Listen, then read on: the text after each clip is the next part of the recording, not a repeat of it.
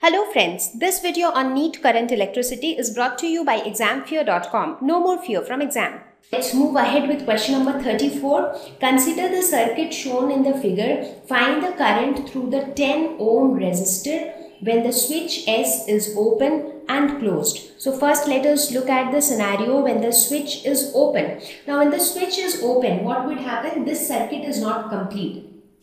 So as a result, there would be no current flowing through this part. Because it is broken. The, the circuit is broken. So in that case what would happen? How much current will flow through the 10 ohm resistor? So well the, the flow of current in this case would be somewhat like this. Let's say that if current i flows in this fashion so this i would would come till here. But the moment it reaches this point no current will flow along this path so what will happen? The entire current will flow like this and it will come back here. So basically there will be no flow of current along this path. Okay, so in this case, the current flowing through the conductor would be V by R. So what is the value of V for the circuit? 3, for 3 volts and R. So this current will pass through these two resistors, 10 ohms and 20 ohms. So therefore resistance, net resistance would be 10 plus 20. So this is 3 by 30 which is equal to 0.1 ampere. So this would be the amount of current that flows through 10 ohm resistor when the switch is open. Now let us look at the second scenario when the switch is closed. Now the moment the switch is closed, what will happen? Current will also flow through the circuit right because the moment the switch is closed current will also flow through this circuit. In fact it, now what will happen is most of the current will flow through this part. Why? Because now once the current reaches this point it has two options. Either it can go straight or it can follow this path now if it goes straight, it has to face this resistor which will try to oppose the flow of current. But if it flows through this path, in that case there is no resistor. So which path will current prefer? So current will prefer obviously this path. Right? So most of the current will now flow through this path the moment the switch is closed and as a result there will be no current flowing through the 20 ohm resistor. So the 20 ohm resistor basically will have no role to play now. So now if you ask the amount of current that will pass through the 10 ohm resistor now in this case in the second case basically the situation is slightly different. So let us draw the circuit once again to show the situation in the second case. So now that the switch is closed in this case the current will flow like this it will pass through the 10 ohm resistor and then it will pass through this path and it will come here. So no current will flow through the 20 ohm resistor. So in this case current will be equal to V by R where value of V will remain the same but R will only be 10 ohms because 20 ohms doesn't play any role this time. So this would be 0.3 amperes. So now more current will flow through the 10 ohm resistor. Question number 35. Figure shows a part of an electric circuit. The potentials at points A, B and C are 30 volts, 12 volts and 2 volts respectively. Find the currents through the three resistors. Okay, so the potentials at each of these points are given and we have to find out the current that is flowing through each of these resistors. Okay, so first let us try to understand what is happening in this problem. So basically, according to this problem, let, let us okay, let us mark this point as P. Now, as per the problem, the potential difference, potential difference between these two points would be equal to I into R where I is the current flowing through the 10 ohm resistor. Let's say I current flows through the 10 ohm resistor. So I into R would be equal to the potential difference between these two points A and P. So we can write VA minus VP will be equal to I into R where I into R is 10 ohms right so this is our first expression second expression is the potential difference between point P and point B will basically be the amount of current which is flowing through this resistor 20 ohms. Let's say I1 current is flowing through 20 ohms. So we can say that Vp minus Vb is equal to I1 into 20 ohms. This is equation 2 and finally third equation would be Vp minus Vc is equal to how much current will flow through this resistor I minus I1 because this I current came here at point P I1 went up so I minus I1 would go down. So Vp minus Vc will be equal to I minus I1 into 30 ohms. So this is equation 3. So now we have these three equations. So we have to solve these three equations to find out the value of I and I1 right? So that that's the simple target that we have. So hereafter we will just do the mathematical calculation part. So what we do? We add equation 1 and 2 so now when we add equations 1 and 2, what do we get? We get VA minus VB is equal to 10 into I plus 2I1.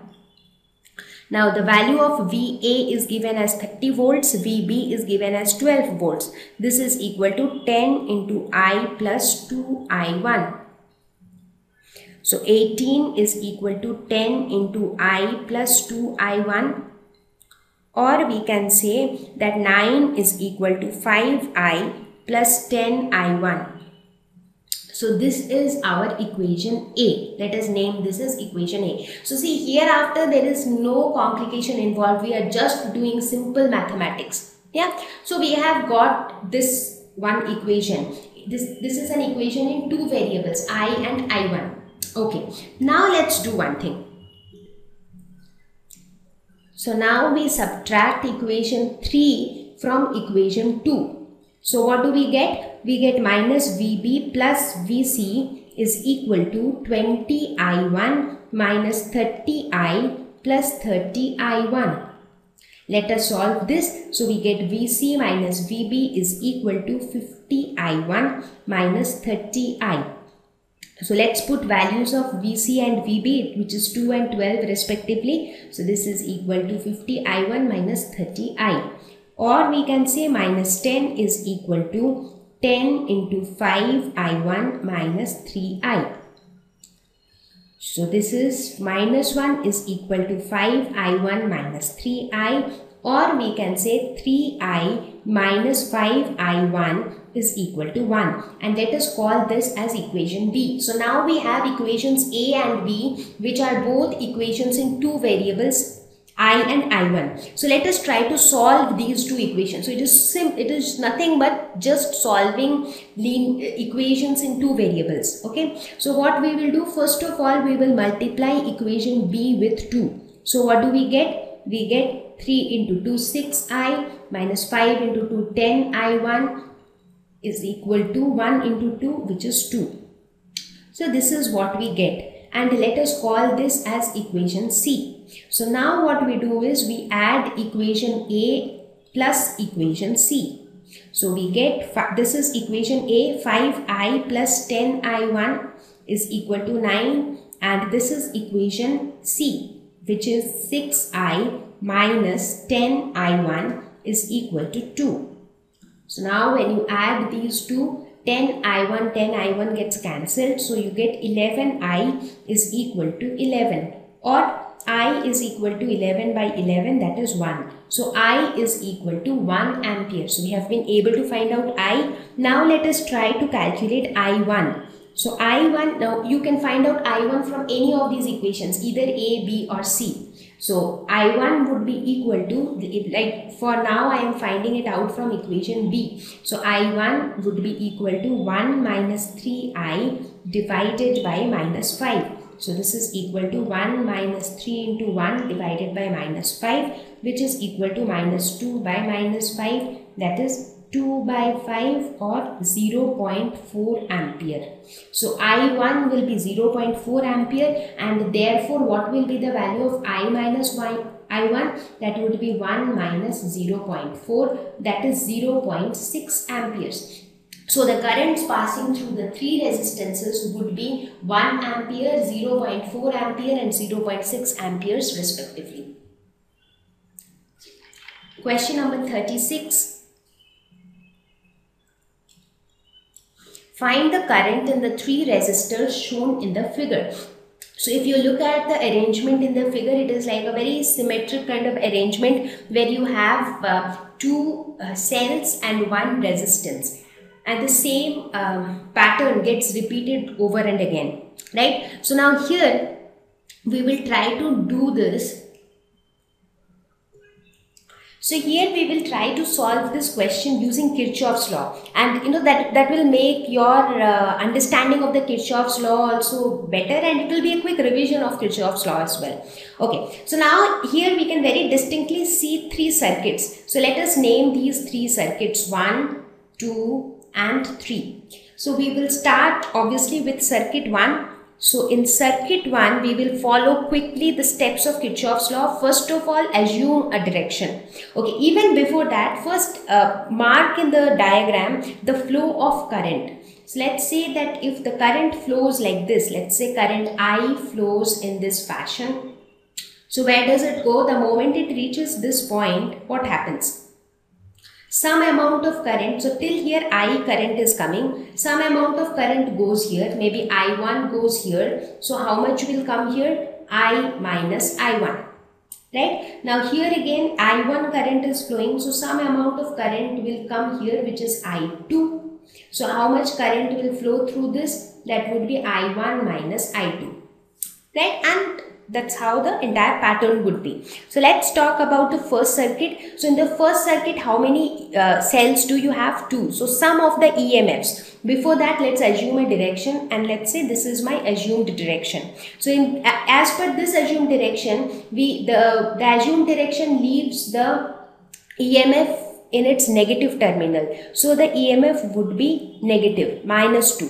But we have one more EMF and if you look at the other EMF, we see that it leaves, the assumed direction leaves it in the positive terminal. So this would be plus 2. So this will be equal to the product of the current and their respective resistances. So which is the resistance in circuit 1? This 1 ohm, how much current is flowing? I minus I1 into 1 but what would be the uh, direction? So in this case if you see this is the direction of current which is along the assumed direction. So this would be positive right? But here on this side you have minus 2 plus 2 which is 0 so 0 is equal to i minus i1 therefore we get i is equal to i1 so this is our first conclusion from the Kirchhoff's equation of first circuit. Now let's move on to the circuit 2. So in circuit 2, what are the EMFs that we have? Now again, let's assume a direction. Let's say this is my direction. So again, it leaves one cell in the negative terminal and it leaves the other cell in the positive terminal. So one would be negative and the other one would be positive. And in this case, which are the resistances involved? There are two resistances. First is this 1 ohm through which I minus I1 current is flowing and the other one is 1 ohm through which I1 minus I2 current is flowing. So I1 minus I2 into 1. Now let's look at their directions. So if you look at this one, the direction is opposite to that of the assumed direction. So this would be minus. Now let's look at this one. Now this direction is along the direction of our assumed direction. So this would be plus. So in this case 0 is equal to now i minus i1 is equal to 0 that's what we obtained here. So this entire thing is also 0 plus i1 minus i2. So therefore here we, uh, we get that i1 is equal to i2. So that is our second observation from the second circuit. Okay, now let's move ahead to the third circuit and what's happening in the third circuit. So in the third circuit again you have two cells. Let's assume this direction. So this leaves one cell in the negative terminal, other cell in the positive terminal. So you will have minus 2 plus 2. This would be equal to what are the resistances? So one resistance is 1 ohm through which I1 minus I2 current flows. That is I1 minus I2 into 1 the other resistance is 1 ohm through which I2 current flows. That is I2 into 1 right? Let's look at their um, directions. So i2 current flows along the direction of our assumed direction. So this would be plus. However the direction of this current is opposite to the assumed direction. So this would be minus now here again this is 0 I1 minus I2 is also equal to 0 as we obtained in circuit 2. So this would be 0 plus I2. So we see that I2 is equal to 0. Now since I2 is equal to 0 what will be the value of I1? That would also be 0. Now since I1 is equal to I, what would be the value of I? That would also be equal to 0. So basically the current in all the three resistors would be 0. This was an interesting question, isn't it? So even though no current is flowing through the circuits, we just proved it using the Kirchhoff's laws. Thank you. Please visit examfear.com for free quality education. You can learn with a simple four-step learning process wherein you can watch video lessons, you can ask your questions, you can refer notes, and you can take a free online test. We have content for class 6 to 12 on physics, chemistry, mathematics, and biology along with practical videos. So please subscribe to our channel for daily updates. Thank you.